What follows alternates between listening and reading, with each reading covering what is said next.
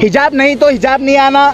जहाँ पर हिजाब पहले से पहनते वहाँ हिजाब पहन कर जा सकते कोर्ट का ये एंट्री ऑर्डर आया है। स्कूल पर जाकर छोटे छोटे बच्चों को हिजाब निकालने के लिए कहा जा रहा है। लड़कियों को डराया जा रहा है उनके जहन को खराब किया जा रहा है हिजाब को निकालने के लिए कहा जा रहा है। क्योंकि डीसी खुद चार दिन हुआ है आकर और ऐसे अपनी चाल बताना शुरू करे हैं। हम डीडीपीआई साहब को बोले हैं कि आप अपनी तरफ़ से वो एएसआई के ऊपर एफआईआर करे। फैसला हाईकोर्ट से हम फैसला नहीं होता। हम हाईकोर्ट के खिलाफ नहीं जाएँगे लेकिन आप लोगों के ऊपर कोई जुल्म बर्दाश्त भी नहीं करेंगे। अगर आप उसके ऊपर एफआईआर नहीं करते तो हम आपके ऊपर यहाँ पर आकर प्रोटेस्ट कर कर आपके ऊपर एफआईआर काम एफआईआर कराने का काम हम करेंगे।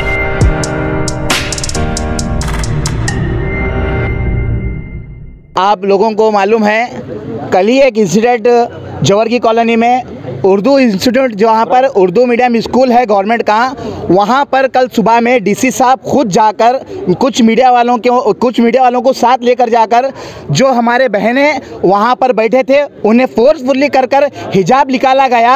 उसी के बाद हमने स्पॉट पर स्कूल को पहुँचा, स्कूल के मैनेजमेंट से बात की।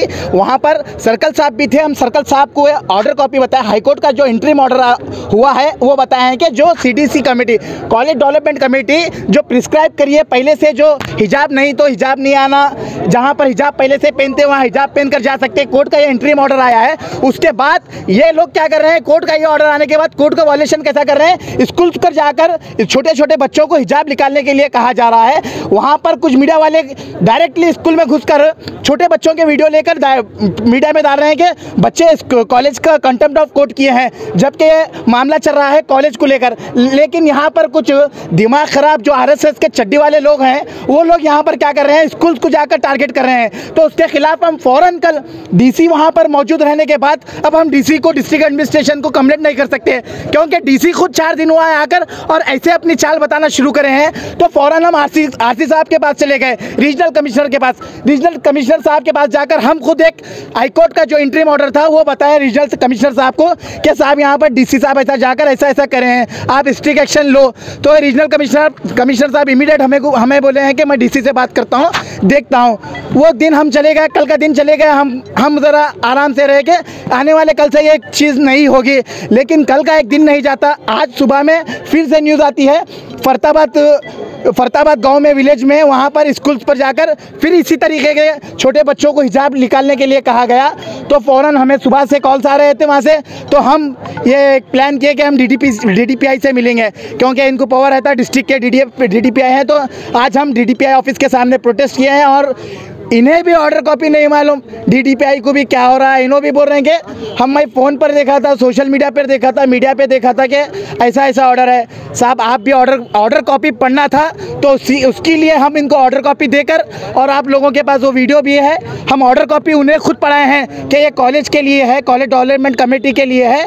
तो अभी हमारे को तयखुन दिए हैं डीडीपीआई कि आज से फिर ऐसा नहीं होगा और गुलबर्गा डिस्ट्रिक्ट के जो जो स्कूल्स हैं, वहाँ पर स्कूल्स के प्रिंसिपल को स्कूल के मैनेजमेंट को ये आप फ़ौरन इंटीमेशन दीजिए कि स्कूल्स पर ऐसा हमला ना किया जाएगा। पुलिस डिपार्टमेंट किस तरह का रोल निभा रहा है? हाँ मैं आपको पुलिस डिपार्टमेंट का भी कह रहा हूँ कल हम इमीडिएट जो स्कूल को गए थे हमें अंदर आने नहीं दिया गया।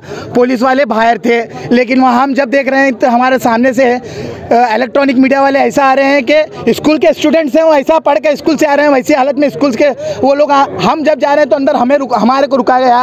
उसके बाद हम सर्कल साहब से बात के बात करें तो सर्कल साहब बोले कि ऐसा कुछ नहीं हुआ। उसके बाद हम देखते हैं कि मीडिया में पूरे विजल्ट चलना शुरू होते हैं कि बच्चों को हिजाब निकाला जा रहा है। बच्चों के क्लियरली हमारे जो छोटे बहनें हैं, उनके क्लियरली वीडियोस को, उनके फेस को ब्लर भी नहीं किया गया। वैसी वीडियो वीडियो वैसे ही वीडियो चला रहे हैं कि ये लोग कोर्ट का वायलेशन करे हैं। खैर, कल का जो मामला था, हमने आरसी साहब के सामने भी रखा और पुलिस डिपार्टमेंट आज का जो है, कल हमें सर्कल साहब यहाँ पर हैं। सर्कल साहब कल हमें कहे थे कि हमारी ड्यूटी ये नहीं है, हमारी ड्यूटी सिक्योरिटी के लिए है। कॉलेज हिजाब स्कूल वाले हिजाब निकालेंगे, नहीं निकालेंगे, इसके ऊपर हमारा क्या भी मामला नहीं है।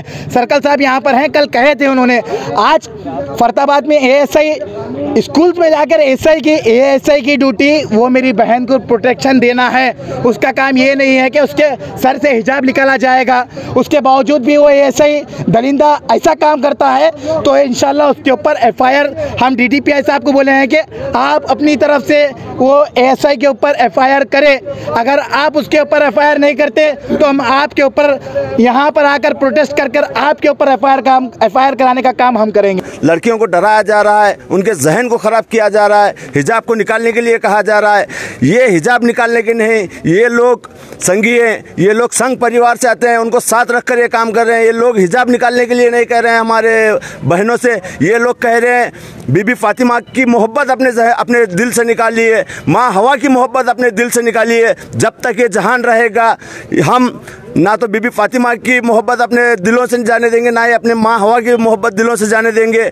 मैं तमाम मेरी माँ और बहनों से गुजारिश करता हूँ, हम जब तक ये हमारा फैसला हाईकोर्ट से हम फैसला नहीं होता, हम हाईकोर्ट के खिलाफ नहीं जाएँगे, लेकिन आप लोगों के ऊपर कोई जुल्म बर्दाश्त भी नहीं करेंगे। जब भी आप लोगों के ऊपर कोई जुल्म होता है और ऐसे संगी लोग कहीं आप पर जुल्म करने के लिए आते हैं तो बेझिझक आप गुलबर्गा के सोशल वर्कर को कॉल कीजिए, आप लोगों के साथ खड़े हैं। अल्लाम वरहमल वरकatuh